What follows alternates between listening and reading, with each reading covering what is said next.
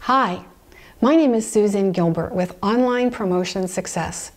Today I'm going to show you how to show full text in RSS in WordPress and change a setting that's available even though you may have settings that you can toggle back and forth from full text to uh, a, a, shortened version in your reader, there's also a setting in WordPress that will allow for the full text to be shown in RSS. So let's get started.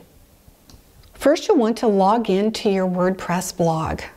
And once you're logged in, scroll down on the left-hand side of your dashboard to the Settings menu. And now choose Reading.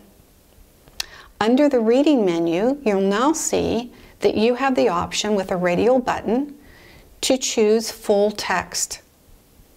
Once you've chosen the full text rather than the summary, now just click Save. This will save your changes and now your readers can download the full text in RSS for WordPress. My name is Susan Gilbert with Online Promotion Success.